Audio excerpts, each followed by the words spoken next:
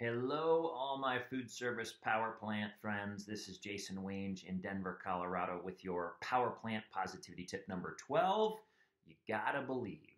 Now, last week we talked about and went through some exercises to help you clarify what you want. What is your ideal vision in your life or in your company? We went through uh, an exercise where you created a balanced vision statement for your life, where you looked at, you know, what do I want my career to look like and my finances and my personal growth or my physical and mental health, and you decided what you want. And the next step in that journey towards accomplishing what you want is simply believing that it's possible. Now, if you're strugg- if you're someone who struggles to believe that good things can happen to you or believing that your wonderful dreams are possible, let's break down what a belief is. A belief is simply a thought that you choose to think over and over and over again.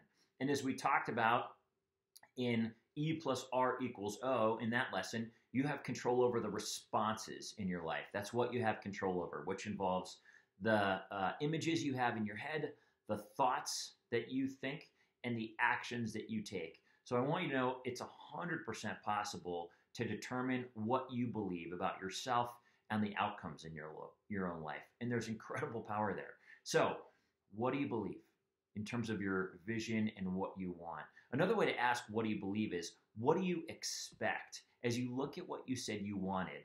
Our goal is to get you to expect every time that it's completely possible. Now, researchers at Baylor University studied this.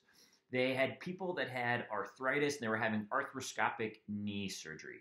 They took patients who had these painful, worn out knees and gave them, put them in two different groups. One group was going to get their knees cleaned out, scoped, and fixed. It was going to happen the right way.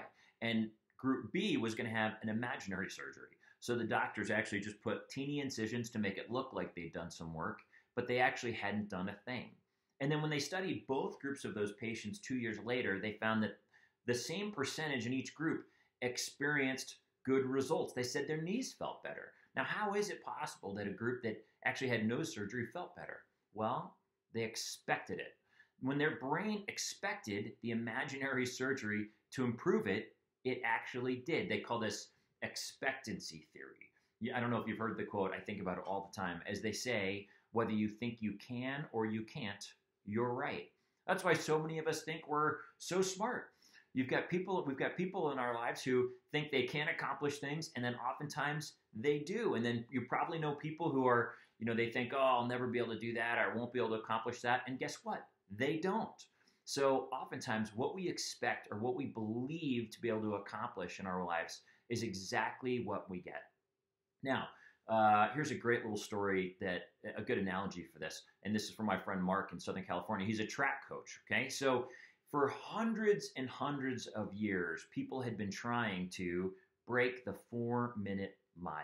Okay, and in the 1940s, someone actually ran four minutes and one second. And that time lasted for nine years. And what all the experts were saying at the time was that it simply wasn't physically possible to break a four minute mile. That, you know, you'd, uh, you'd collapse or you'd have challenges with your body. You could even die if you ran a sub four minute mile. And then on May 6, 1954, a guy from the UK, Roger Bannister, was the first person to accomplish it. He ran a three minute, 59.4 second mile. And this is after hundreds of years of people trying to. Well, guess what happened a month later? Another gentleman, a guy named John Landy of Australia, broke it again. And then about a year later, three guys broke it in the same race. Why is it that we had something last hundreds of years, people trying to accomplish something and no one did? And then you watch someone do it and then the dominoes start to fall. You see more and more very quickly. Today, lots of high schoolers break a four minute mile. It's simply because people didn't expect to be able to do it. They didn't think they could. And actually, of course they could. Now, as we've seen here, oftentimes our biggest limitations aren't what we don't know, it's what we do know that simply isn't correct. It's just not true. It wasn't true that you couldn't break it. Now, as you look at the what you want in your life and as we get you to a place where you come to expect that you can accomplish it here's a couple things that i want you to do. I want you to sit back and write down what are some limiting beliefs i have in those different areas of your life where you're at your vision? What are some beliefs you have around that you might not be able to accomplish it, or that you can't, um, you know, can't fit into that pair of clothing that you've wanted to for all these years, or you can't make that annual income that you've always dreamed about, or you can't um, believe that you can, you know, go actually get close with a particular type of customer or a particular segment. What are belie- limiting beliefs that you have? And I want you to write them out. Okay. Next, I want you to go find stories or people who have done what you want. Just like that four minute mile, all someone needed was a story to prove it was possible. And for us, we just need to be able to see that the things we want are possible. Chances are that the people who've accomplished what you want to, oftentimes we hold them in this uh, this image of them that they just always had it easy. They always knew how to make it happen, and oftentimes that's not true. I had a friend call me last week and say, "Hey, thanks for doing these videos, and you know, why are you doing them?" And I said, "Well, here's what my life looked like at one point." He said, "Oh my gosh, I never would have guessed in a million years that you had gone through all those things."